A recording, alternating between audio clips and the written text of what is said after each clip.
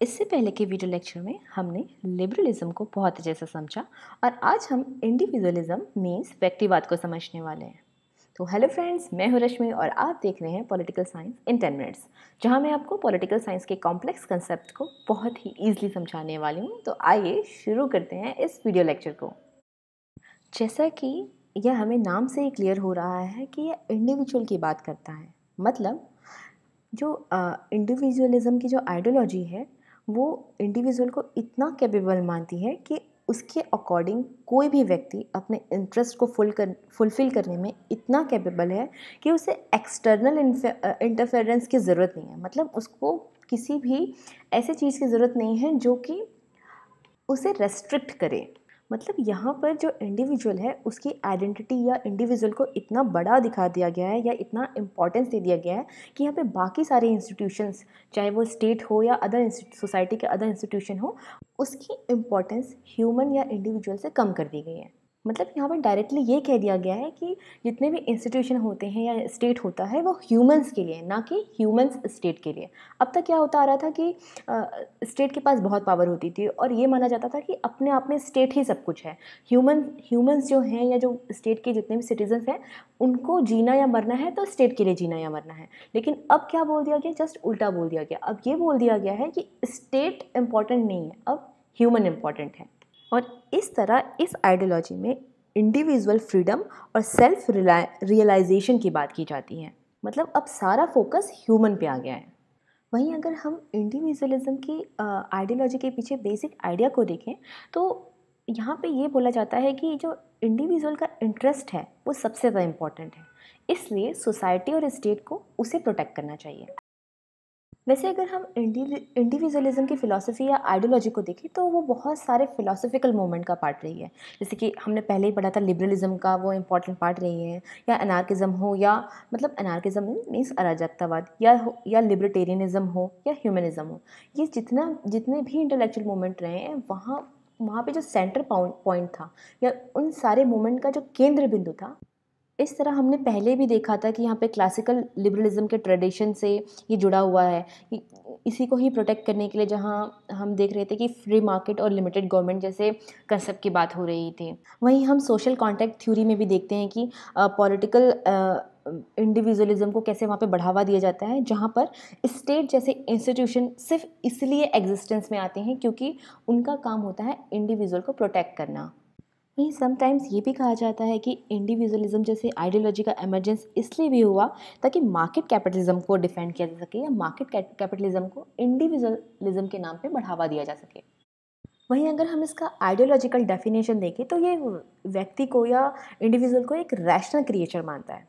और यही इंडिविजुअलिज्म की फ़िलासफ़ी हमें जॉन लॉक और एडम स्मिथ के मेजर राइटिंग्स में भी दिखाई देती है, जिसके अकॉर्डिंग हम देखते हैं कि इंडिविजुअलिज्म को एक थियोरिटिकल बेस मिलता है।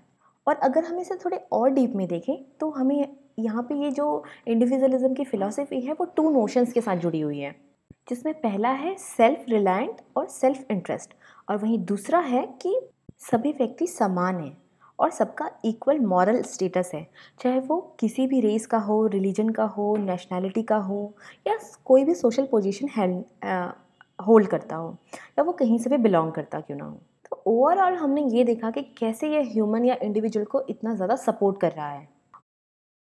तो आइए अब इसके कुछ कैरेक्टरिस्टिक्स को भी डिस्कस कर लेते हैं। अगर आप किसी भी कंसेप्ट या आइडियोलॉजी की करेक्टरिस्टिक्स को याद रख लेंगे ना तो उस कंसेप्ट को याद रखना बहुत ईजी हो जाता है। इसलिए मैं अक्सर कैरेक्टरिस्टिक्स को अलग से डिस्कस करती हूँ। तो हम इसके करेक्टरिस्टिक्स को डिस्कस कर रहे थे तो इसमें पहला है moral worth of the individual मतलब ये एक ऐसी पॉलिटिकल और सोशल आइडियोलॉजी है जो एक व्यक्ति के मॉरल वैल्यू को इस्टेब्लिश करती है। क्योंकि इससे पहले हमने तो यही देखा है ना कि स्टेट का कंट्रोल होता था हर चीज़ पे और स्टेट ही सब कुछ होता था। लेकिन इंडिविजुअलिज्म की आइडियोलॉजी के बाद हमें ये देखना देखने को मिलता है कि अब ह्यूमन को हर चीज़ ह्यूमन को सबसे ज़्यादा इंपॉर्टेंस दी जाती है। वहीं इसमें इस इसका दूसरा कैरेक्टरिस्टिक्स है कि हर व्यक्ति अपने आप में यूनिक होता है और सेल्फ रिलायंट होता है। तो वहीं अगर हम इसकी तीस, तीसरी विशेषता देखें तो ये कहता है कि गवर्नमेंट को इंडिविजुअल के मैटर से दूर रहना चाहिए। क्योंकि हम पहले ही जानते हैं कि गवर्नमेंट का काम क्या होता है वो ज़्यादा से ज़्यादा लोगों को कंट्रोल करने की कोशिश करता है। और अगर गवर्नमेंट अगर इंडिविजुअल के मैटर्स में इंटरफेयर करने लगेगी तो इससे क्या होगा? जो इंडिविजुअल का मैक्सिमम फ्रीडम है, वो इंश्योर नहीं हो पाएगा। इस वजह से ये गवर्नमेंट को इंडिविजुअल अफेयर से दूर रहने की बात करता है। वहीं इसकी अगली विशेषता है कि ये कलेक्टिव इंटरेस्ट से ज़्यादा इंडिविजुअल इंटरेस्ट को प्रमोट करता है और वहीं वो कलेक्टिव वेलबिंग से ज़्यादा पर्सनल वेलबिंग की बात करता है। और इस तरह हम देखते हैं कि जो इंडिविजुअलिज्म की आइडियोलॉजी है वो मैक्सिमम फ्रीडम और मैक्सिमम इंडिविजुअल राइट की भी बात करती है।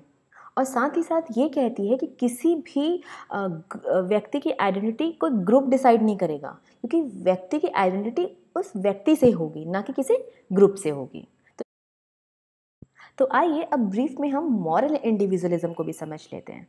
ये जो इंडिविजुअलिज्म का फिलोसफिकल प्रिंसिपल है, वो एडवोकेट करता है कि कोई भी व्यक्ति या इंडिविजुअल अपने आप में साध्य होता है। Means an individual is is an in it इसलिए ह्यूमन बींग से ज़्यादा कोई भी चीज़ वैल्यूएबल नहीं है। इसलिए इंडिविजुअल पर कोई ऑब्लिगेशन भी नहीं लगा सकता।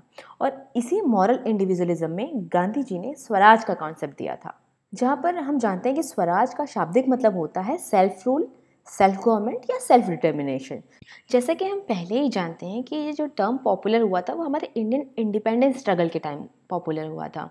और गांधी जी ने इसके मीनिंग और स्कोप को एक्सपेंड किया था। जिसके तहत गांधी जी खुद के कॉन्फिडेंस सेल्फ वर्थ पोटेंशियल को एक्सप्लोर करने की बात करते हैं। तो इस प्रकार आज हमने जाना कि इंडिविजुअलिज्म की फ़िलॉसफी क्या है और ये किस तरह एमर्ज होती हैं। और ये कैसे ह्यूमन को या कहीं इंडिविजुअल को वैल्यू इंडिविजुअल की वैल्यू इस्टेब्लिश करती है। अगर आपको इसी तरह पॉलिटिकल साइंस के इंपॉर्टेंट कंसेप्ट से रिलेटेड और भी वीडियोस देखने हैं तो please do like share and subscribe my channel it is my small initiative towards spreading knowledge